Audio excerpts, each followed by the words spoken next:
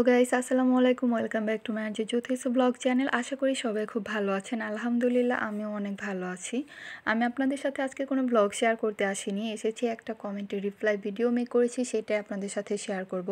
আর আপনাদের কমেন্টটি সেগুলো হচ্ছে আমি পোল্যান্ডে আসার পরে অনেক আপু এবং ভাইয়ারা পোল্যান্ড সম্পর্কে অনেক কিছু জানতে চেয়েছেন। তো আমি আমার এক্সপিরিয়েন্স থেকে যতটুকু সম্ভব সেটা বলা ট্রাই করব। জানি না ভিডিওটা আপনাদের জন্য কতটুকু হেল্পফুল হবে কিংবা ভালো লাগবে। তো আমি প্রথমে আমার ঢাকা টু ওয়ার্সাও যে ব্লগটা আছে সেখান থেকে শুরু করছি। এখানে আমার একটা ভাইয়া যে কমেন্ট করেছে যে what was the cost of flight from Dhaka to Warsaw তো আমাদের কোস্ট ছিল যে টোটাল দুই লাখ ছাপ্পান্ন হাজার টাকা গিয়েছে টিকিটে কারণ বর্তমানে টিকিটের প্রাইস কিন্তু খুবই এক্সপেন্সিভ আর এটা আমরা সবাই জানি। আর করোনার পর থেকে আরও বেশি হয়ে গিয়েছে এটা। আর আমাদের ট্রানজিটের কথাটা অনেকে জিজ্ঞেস করেছিলেন। ট্রানজিট হয়েছিল কাতার এয়ারলাইন্সে আমরা এসেছিলাম। কাতারে নয় ঘণ্টার মতো ট্রানজিট ছিল। আরেকটু ভাইয়া লিখেছেন, আপু, সিঙ্গাপুর থেকে পোল্যান্ড ওয়ার্ক পারমিট ভিসা আসা যাবে প্লিজ একটু জানাবেন। ভাইয়া, অনেকে তো অনেক অনেক কান্ট্রি থেকে ট্রাই করছে। আর ইনশাল্লাহ আপনি যদি ট্রাই করেন, তাহলে অবশ্যই আসতে পারবেন। বাট আপনার ডকুমেন্টসে সব কিছু কিন্তু ঠিক থাকতে হবে। ব্যাকগ্রাউন্ড ডকুমেন্ট এগুলো যদি ঠিক না থাকে তাহলে অনেক সময় কিন্তু ভিসা পাওয়া যায় না। আরেকটা ভাইয়া লিখেছে পোল্যান্ড ভালো কোনো এজেন্সি থাকলে জানান, তারপর ভিডিও বানান। আর পোল্যান্ড ভালো এজেন্সি হলে আমাদের খরচটা কম যাবে। এটা কিন্তু কোনো কথা না ভাইয়া। আমি তো এখানে আমি তো এখানে কোনো এজেন্সির জন্য কিংবা কাউকে আনার জন্য তো আর আমার চ্যানেলটা খুলি নেই। আমি জাস্ট আমার শখের বসে আমি আমার চ্যানেল খুলেছি। আর হচ্ছে কি আপনাদের কোনো কিছু জানার থাকলে যতটুকু আমি জানি সেটা দিয়ে হেল্প করব। তো প্লিজ ভাইয়া এই ধরনের কমেন্টগুলো করবেন না। কারণ হচ্ছে গিয়ে আপনি যদি কোনো কিছু জানতে চান সে ব্যাপারে আমাকে কমেন্ট করবেন। আমি যদি জানি সেটা অবশ্যই জানাব। আর কোন খরচটা কম হবে কি না হবে এরকম কোনো ওয়ে আমার কাছে নাই। সো সরি আরেকজন লিখেছে আপু কাইন্ডলি আপনার সাথে কীভাবে কথা বলতে পারি একটু যদি জানাতেন। ভাইয়া প্লিজ আমি প্রত্যেকটা ভিডিও ডেসক্রিপশন বক্সে আমার যেই পেজটা আছে ফেসবুক পেজ আর যে জ্যোতিষ ব্লগ সেম নামে দেওয়া, আপনারা চাইলে সেখানে আমার সাথে কন্ট্যাক্ট করতে পারেন মেসেজ দিবেন। আমি অলওয়েজ সেখানে অ্যাক্টিভ থাকি নো প্রবলেম আর আরেকজন ভাইয়া লিখেছেন, আপু স্টুডেন্ট ভিসা কি হবে বিডি থেকে কত পার্সেন্ট আশা করা যায়? ভাইয়া, আর কোনো ভিসা কত পার্সেন্ট আশা করা যায় সেটা জানি না but student visa hundred percent আশা করা যায়। আপনি আইএলস করে যদি খুব সহজে ভালো মতো আসতে পারবেন। কারণ এখানে অ্যাভেলেবেল স্টুডেন্টের ভিসাটা কিন্তু হয়। আরেকজন ভাইয়া লিখেছে, কি ভিসাতে গেছেন আপু? নয় তারিখ মিন্স এই মান্থের নয় তারিখ। হ্যাঁ ভাইয়া, আপনি যে মান্থে কমেন্ট করেছিলেন, আমি সেই মান্থেরই নয় তারিখে এসেছিলাম। আর আমার ভিসা হচ্ছে, আমি তো স্পাউস ডিপেন্ডেন্টে তো আমার ভিসার যে ক্যাটেগরি সেটা হচ্ছে ন্যাশনাল ভিসা ক্যাটেগরিটা আরেকজন লিখেছে, আমার আপু পোল্যান্ডে থাকে দ্যাটস গুড তো এখানে আরেকটা আপু লিখেছে, Tamalika Datta I need some information from you please যে ধরনের ইনফরমেশন লাগে সেজন্য আমাকে আপনারা পেজ ইনবক্স করবেন, আমি সেখানে আপনাদের সাথে অবশ্যই কথা বলব। How can I contact with you please আমার সাথে যারা কন্ট্যাক্ট করতে চান, সবাই আমার ফেসবুক পেজটাকে ফলো করবেন এবং সেখানে ইনবক্স করবেন। আর যারা আমার সাথে কন্ট্যাক্ট করতে চেয়েছেন, আমি অনেকেই কিন্তু আমার ফেসবুকের যে পেজটা সে পেজের লিঙ্ক দিয়ে দিয়েছি। হয়তো বা আপনারা পরে চেক করেনি, সেজন্য আমার সাথে কথাও হয়নি। আরেকজন লিখেছে, আপু, আপনার ইনস্টা আইডি কি? তো আমি তাকেও আমার ফেসবুকের যে পেজটা সেটার লিঙ্ক দিয়ে দিয়েছি। আপু, দয়া করে প্লিজ আমাকে এখানে আপনারা নক করবেন। তো যারা যারা আমার কাছে ইনস্টা এবং ফেসবুকের আইডি চাচ্ছিলেন, তো আমি সত্যি তাদের কাছে এক্সট্রিমলি সরি কারণ কিছু কিছু পার্সোনাল জিনিস আমার নিজের কাছে হিডেন রাখতে খুব ভালো লাগে। এই জন্য আমি দিতে পারলাম না। তো আরেকটা ভাইয়া লিখেছে, আপু, আমার বাসা সিলেট, আমি পোল্যান্ড বা রোমানিয়া আসতে চাই, কিন্তু ভালো কোনো সুযোগ সুবিধা সিস্টেম পেলাম না। প্লিজ আপু, একটু হেল্প করেন, কীভাবে কি করব। ভাইয়া, এটার জন্য আপনার সব থেকে বেস্ট হবে আপনি বাংলাদেশে যে কোনো ভালো একটা এজেন্ট কিংবা কারোর সাথে কথা বলেন। যে অনেকে দালালের মাধ্যমে আসে। আপনি যদি কোনো বিশ্বস্ত ট্রাস্টেড কাউকে পান, তাদের সাথে প্লিজ কথা বলবেন। কজে আমার এই ব্যাপারে ওরকম কোনো আইডিয়া নাই। কারণ আমি আপনাদেরকে এরকমভাবে বলতে চাচ্ছি যে আমার কথাতে আপনাদের হেল্প হোক বা না হোক বাট কোনো ক্ষতি যেন না হয়। তো আমি এখন আমার অন্য একটা ভিডিওর কিছু কমেন্ট পড়ব যেখানে আরও কিছু আপু এবং ভাইয়েরা কমেন্টস করেছে। তো এখানে একজন সাদিয়া সুহে একটা আপু কমেন্ট করেছে, আপু, আপনি পোল্যান্ড কী ভিসাতে গিয়েছেন? আপু, আমার হচ্ছে ন্যাশনাল ক্যাটাগরি ভিসা আর স্পাউসদের জন্য এই ভিসাটাতেই আসতে হয়। আর এখন হচ্ছে গিয়ে আরেকটা ভাইয়া যে কমেন্ট করেছে, সেটা হচ্ছে ভাইয়াটা লিখেছে, আপু কেমন আছেন? আপু, আমি বলতে চাচ্ছি যে আপনার হাজব্যান্ড পোল্যান্ড যাওয়ার কতদিন পরে আপনাকে নিয়ে গিয়েছে? আশা করি বলবেন পোল্যান্ড যাওয়ার পরে কত বছর পরে ওয়াইফকে নিয়ে যাওয়া যায়? দয়া করে একটু বলবেন, আশায় রইলাম। তো ভাইয়া, আমাকে আমার হাজব্যান্ড এনেছে হচ্ছে গিয়ে চার বছর পরে, কারণ আমার জন্য আরও আগেও অ্যাপ্লাই করতে পারতো। বাট হচ্ছে তখন আমিও স্টাডি করছিলাম, তো সেজন্য সে এতটা চাপ নেয়নি। আস্তে ধীরে আমাদের প্রসেসিং শুরু করেছে। আর আপনি জানতে চেয়েছেন যে পোল্যান্ডে যাওয়ার পরে কত বছর পরে ওয়াইফকে নিয়ে যাওয়া যায়? ভাই, আপনার দুই বছর পূর্ণ করতে হবে, আর হচ্ছে গিয়ে ফার্স্ট কার্ড যেটা, সেটা সেটা করতে হবে টিআরসিটা দেন আপনি আপনার ওয়াইফের জন্য অ্যাপ্লাই করতে পারবেন। বাট মাস্ট দুই বছর আপনাকে অপেক্ষা করতে হবে। আরেকটা ভাইয়া লিখেছে, আপু, আমি সৌদি আরব থেকে আসতেছি, পোল্যান্ডে একটু হেল্প দরকার ছিল। ভাইয়া, আমি আপনাকে রিপ্লাই করেছিলাম হয়তো বা সেটা আপনি দেখেনি অবশ্যই ভিডিওটা দেখে থাকলে আপনি আমাকে বলতে পারেন যে আপনার কী হেল্পের দরকার ছিল। যদি আমি কোনো কিছু জেনে থাকি, তাহলে আপনাকে অবশ্যই সেটা জানাব। আরেকটা ভাইয়া লিখেছে, আমার জানের আপু খুব ভালো নাম্বারটা। এখন দেন, আপু আপু, আমি আপ আপনাদের ফ্যান বড়।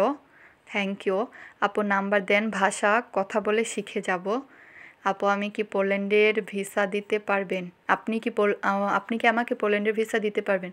সরি ভাইয়া, আমরা কীভাবে ভিসা দেবো বলেন? আমি তো আসছি মাত্র কয়দিন হয়। আর আমরা এরকম কোনো বিজনেস করি না, কিংবা আমরা কারোর জন্য ওয়ার্ক পারমিটও বের করি না। আর আপনি আবারও আরেকটা কমেন্ট করেছেন যে, আপু পোল্যান্ড মেয়ে নাম্বার দিতে পারবেন কি? বিয়ে করে যাব। ভাইয়া এইসব এগুলা, এইসব কথাগুলো আপনি যাকেই বলবেন, তার কাছে জাস্ট একটা জোকস মনে হবে। সো প্লিজ নিজের দাম এভাবে কমাবেন না, আর এইসব কথা বলবেন না। তো আবার হচ্ছে গিয়ে ভাইয়া লিখেছে, আপনি পোল্যান্ডে কোন শহরে থাকেন? ভাই আমি চেন্স বা যেই সিটিটা সেখানে থাকি। আরেকজন বড় ভাইয়া লিখেছেন, আপু রিসেন্টলি আমার পোল্যান্ড জব হয়েছে পোজনান সিটিতে। আমি জানতে চাচ্ছি ফ্যামিলি সহ wife plus one kid living cost কেমন হবে? স্পেশালি ফ্ল্যাট রেন্ট এবং গ্রোসারিস কোস্টটা কেমন ওখানে? আমি এখন ঢাকাতে আছি ইনফরমেশনটা পেলে খুবই উপকার হতো। তো আমি ভাইয়াকে রিপ্লাই দিয়েছি বাট আমি তারপরও আপনাদেরকে জানানোর জন্য বলছি। যে এখানে যে লিভিং কোস্টের সম্পর্কে অনেকেই জানতে চাচ্ছিলেন, এই লিভিং কোস্ট জাস্ট এটা কিন্তু যার যার ওপরে ডিপেন্ড করে। এটা কিন্তু কোনো হাতে ধরা কোনো কিছুই না। তো আমি ভাইয়াকে সুন্দরভাবে বুঝিয়ে বলে দিয়েছিলাম যে, ভাইয়া, এটা বলাটা খুবই মুশকিল। কারণ আপনার ওপর ডিপেন্ড করে যে আপনি কেমন বাসা নেবেন, কেমন খরচ করবেন। আপনার যেহেতু হাজব্যান্ড ওয়াইফ তো সব কিছু মিলে মাসিক খরচ, আর কি এটা আমি আমাদেরটা বলেছি। মাসিক খরচ আমাদের যেরকম যায় সেটা হচ্ছে গিয়ে কোনো মাসে পঁচিশশো জলোটি এবং বিডিটি হচ্ছে পঞ্চাশকে আবার কোনো মাসে ষাট ষাটকেও হয়ে যায় প্লাসও হয়ে যায়।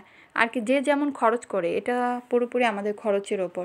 আর প্রথম প্রথম আপনি যখন পোল্যান্ডে আসবেন, তখন আপনার পুরো একটা নতুন সংসার গোছাতে টুকিটাকি যে ধরনের জিনিসপত্র লাগে, এগুলা কেনাকাটা এবং গোছানোর ওপরে আপনার অনেক বেশি খরচও হয়ে যাবে। আর এটা প্রত্যেকের ক্ষেত্রেই হয়। আর বাসা ভাড়ার ব্যাপারটা আমাদের বাংলাদেশের মতোই। মনে করেন যে আমাদের দেশে আপনি চাইলে বড় একটা ফ্ল্যাট নিয়ে থাকতে পারছেন। কাপলদের জন্য জাস্ট দুইটা রুম হলে হয়ে যাচ্ছে। অনেকে একটা রুমেও গুটি সুটি মেরে থাকছে ওই রকমভাবে আর কি। তো আপনি চাইলে বড় বাসায়ও থাকতে পারবেন। আবার হচ্ছে একটা বাসা নিজেও থাকতে পারবেন, আবার ফ্ল্যাটও নিতে পারবেন। আবার ফ্ল্যাট আপনি চাইলে কিনতেও পারবেন। সো অনেক ধরনের ওয়ে আছে। তো এই ভাইয়াটা আমাকে আবার কমেন্ট করেছে, আপু কেমন আছেন? আমি তোমাকে বিয়ে করতে চাই নাই, পোল্যান্ডের মেয়ে নাম্বার দেন। আমি জানি না যে ভাইয়াটার কি কোনো প্রবলেম আছে কি না। তো আরেকজন ভাইয়া লিখেছে, আপু, ভাড়া কত ফ্ল্যাটের? ভাইয়া, আমাদের ফ্ল্যাটের ভাড়া হচ্ছে কি ষোলোশো জলোটি আর বিডিটি হচ্ছে বত্রিশ, তেত্রিশ কে প্লাস এরকম। আমাদের দেশে যেমন আপনি যে কোনো বাসাতেই থাকতে পারছেন, মিডল, হাই এবং হচ্ছে গিয়ে একদম লো তো এখানে ধরতে গেলে লো একদমই পাওয়া যায় না। কারণ এখানে সবই মিডিল আর মিডিলে যেগুলো আছে সে বাসাগুলো খুবই কিউট খুবই সুন্দর কাপলদের জন্য। যেমন আমরা যে বাসাতে থাকি, এ বাসাটা অনেক কিউট আমার আর আমার হাজব্যান্ডের জন্য। খুব সুন্দর, ছোট্ট একটা সংসার আপনি চাইলে গুছিয়ে নিতে পারবেন। আরেকজন লিখেছেন, আপু, তুমি কি স্টুডেন্টের ভিসাতে গিয়েছো? না, আমি স্টুডেন্টের ভিসাতে আসিনি। ভাইয়া লিখেছে আরেকজন ওখানে রুম ভাড়া কত? আমি বলেছি যে, ষোলোশো জলোটি আরেক ভাইয়া লিখেছে, আপু, আপনাদের বাসা ভাড়া কত জলোটি বলবেন? আমাদের বাসা ভাড়া হচ্ছে ষোলোশো জলোটি আরেক ওই ভাইয়া আবারও কমেন্ট করেছিল যে, আপু, আপনি আমাকে ভিসা দেন না। আপনি আপনার বাড়ির কাজের লোক হিসাবে প্লিজ আপু। আস্তাক ফিরুল্লাহ এইসব কথা বলাও কিন্তু একদম ঠিক না। কারণ আপনি নিজেকে কেন বারবার এত ছোট করছেন? আপনার যদি কোনো কোয়ালিফিকেশন কোনো যোগ্যতা থাকে ইনশাল্লাহ আপনি খুব ভালোভাবে আসবেন এই দেশে। আর আপনি ভালো কোনো জব করতে পারেন, কাজ করতে পারেন, আপনি কেন এত নিচু নিচু মানের ভাবে কেন আসবেন? সো এসব কথা বলে নিজেকে মানুষের কাছে হাসির খোরাক বানাবেন না। আরেকটা ভাইয়া লিখেছে, আপু, আপনি পোল্যান্ডে কোন জায়গাতে থাকেন? আমার বাবা পোল্যান্ডে, আমি যাব পোল্যান্ডে। গুড উইশেস ফর ইউ তো আমি হচ্ছে গিয়ে চেঞ্জতবা সিটিতে থাকি, সেটা বলেছি। আরেকটা ভাইয়া লিখেছে, আপু, ভাইয়া কোথায় জব করে? আপনি কি করেন? আপনার ব্লগ রেগুলার দেখি। ফার্স্টে থ্যাংক ইউ সো মাচ ভাইয়া, আমার ব্লগ দেখার জন্য। আর আপনাদের ভাইয়া হচ্ছে ক্যাবাব রেস্টুরেন্টে জব করে। আর আমি হচ্ছি জাস্ট ধরতে পারেন একজন হাউজ ওয়াইফই এখন বলা চলে। ঘরেই বসে থাকি, মাত্র তো এসেছি। আবার অনেকে আমাকে জিজ্ঞেস করেছেন যে পোল্যান্ডের গার্লস ফ্যাসিলিটি কীরকম? গার্লস ফ্যাসিলিটি বলতে হচ্ছে আপনাকে মাস্ট ভাষা ল্যাঙ্গুয়েজটা জানতে হবে। কারণ পলিশ ল্যাঙ্গুয়েজ কিন্তু খুবই হার্ড খুবই হার্ড আর আমার তো, আমি তো এখনও পর্যন্ত টুকিটাকে জাস্ট চলার মতো টুকিটাকি পারি। কারণ যারা অনেক বছর ধরে থাকে, তারাও কিন্তু খুব ভালো পারে না। একটু ভাইয়া লিখেছে, আপু মালটা থেকে আপনার নিয়মিত ফলোয়ার চিন্তা করতেছি। পোল্যান্ডে এসে ফ্যামিলি নিয়ে সেটেল সেটেল হওয়ার জন্য। কিন্তু বাসা ভাড়া কোস্টিং ওয়েদার কেমন? ভাই আমি এগুলো একবার বলেছি। আর ওয়েদারের কথা কি বলব? এটা তো জানেনি এখানে ধরতে গেলে বারো মাসে শীত থাকে। তার মধ্যে তিন মাস আপনি সামারের মজাটা জাস্ট পাবেন। আর হচ্ছে গিয়ে এমনিতে সব সময় উইন্টার সিজনই বেশি থাকে। আর উইন্টারের মধ্যে স্নোফল হয় আপনি বাহিরে গেলে ওই রকম আপনার প্রোটেকশন নিয়ে দেন বের হতে হবে এইরকমই আর বাসা ভাড়াটা ওইটা আপনার উপর নির্ভর করে যে আপনি কেমন বাসাতে থাকবেন, সেটাই। আর যেহেতু ফ্যামিলি নিয়ে সেটেল হওয়ার কথা বলেছেন, তাহলে আমি বলব যে আমার কাছে পোল্যান্ডে পোল্যান্ড খুব ভালো লাগে, কারণ আমি আরও অনেকের ব্লগ দেখি এবং অনেকের জীবনযাত্রা দেখি। তো আমার কাছে কেন যেন পোল্যান্ডটা খুব পিসফুল মনে হয়।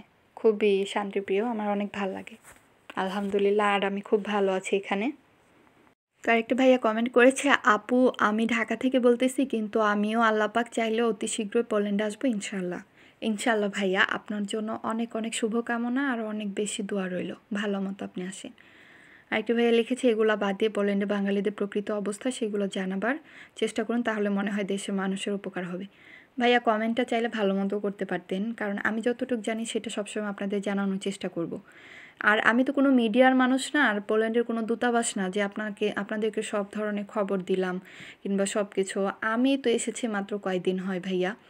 আর আপনি লিখেছেন যে এগুলা বাদ দিয়ে, আমি এটা একটা বার্বিকিউর ব্লগ ছিল, আমি তো এখানে কোনো খারাপ কিছু করছিলাম না যে আপনি এইভাবে বলবেন আমাকে।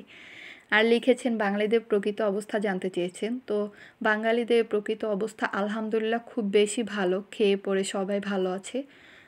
ইউক্রেনের যুদ্ধের যে প্রভাবটা পড়েছে, সেটার জন্য জিনিসপত্রের দাম বেড়েছে। হয়তো এটা কিন্তু বাংলাদেশেও বেড়েছে, তো সবাই মিলে আমরা সরকারকে দোষারোপ করি।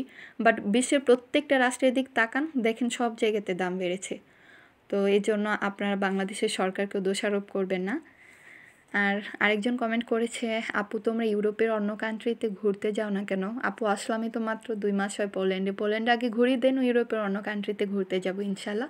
তখনও তোমরা ব্লগ দেখতে পারবা। অন্য দেশগুলো তো যাওয়া পর্যন্ত পোল্যান্ডে আমি যেই সব জায়গাতে গিয়ে ঘুরি, সেই ভিডিওগুলো আগে দেখে শেষ করো, দেন। তো লিখেছে আবার যে, আপু, ভাইয়া কিসে জব করে? তোমাদের ভাইয়া কেবল রেস্টুরেন্টে জব করে।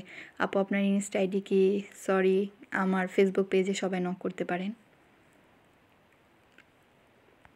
তো আরেকটা ভাইয়া লিখেছে, আসসালামু আলাইকুম আপু, ওয়ালাইকুম সালাম। আপনার ভিডিওগুলো অনেক সুন্দর লাগে, তাই তো আমি আপনার ইউটিউব চ্যানেলকে সাবস্ক্রাইব করে দিয়েছি এবং রেগুলার আপনার ব্লগগুলো দেখি। থ্যাংক ইউ সো মাচ ভাইয়া, আমাকে সবসময় এভাবে সাপোর্ট করবেন। তো আমার ফার্স্ট রেসিডেন্স কার্ড ব্লগের মধ্যে একটা ভাইয়া কমেন্ট করেছে how long it to to get the TSC তো এখানে আমার একটা ফ্রেন্ডও রিপ্লাই করেছে এবং সাথে আমিও একটা রিপ্লাই দিয়েছি। জানি না ভাইয়া দেখেছে কি না তো এটা হচ্ছে গিয়ে পুরোপুরি ডিপেন্ড করে হচ্ছে আপনার ভিসা ক্যাটাগরির ওপরে আর হচ্ছে আপনি যে সিটিতে থাকেন, সেই সিটির কাজ সেই সিটির ইমিগ্রেশনের কাজটা কত ফাস্টে হয় সেটার উপর ডিপেন্ড করে। অনেক জায়গাতে হয়, অনেকে ধীরে আসতে, ধীরে হয়। আর অনেক জায়গাতে খুবই ফাস্ট অনেক তাড়াতাড়ি হয়ে যায়। তো সেই ক্ষেত্রে আপনার পাঁচ থেকে ছয় মাসে হয়। আবার হচ্ছে গিয়ে অনেক ক্ষেত্রে সাত থেকে আট মাসের মধ্যে হয়। আর আপনার বেশি ওপরে গেলে হচ্ছে এক ইয়ারও লেগে যেতে পারে। আই এম নট শিওর আর কি, এরকম আমি যেটা শুনেছি। এরকম। আর ওয়াইফদের ক্ষেত্রে হচ্ছে গিয়ে আপনার এক মাসের মধ্যেই হয়ে যায়।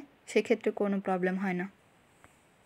তো আমাকে আরেকটা আপু কমেন্ট করেছিল যে আমার ভিসা প্রসেসিংয়ে আমার কী কী ডকুমেন্টস লেগেছে উইদাউট ম্যারিজ সার্টিফিকেট তো আমি আপুকে রিপ্লাইও করেছিলাম।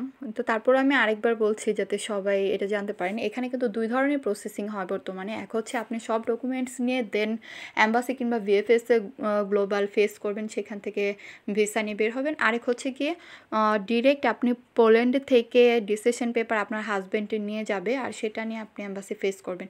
তবে আমার কাছে যেটা বেশি ভালো মনে হয় যে ডিরেক্ট যারা ডিসিশন পেপারসে নিয়ে যায়, তাদের ক্ষেত্রে হান্ড্রেড পার্সেন্ট ভিসা তারা পেয়ে যায়।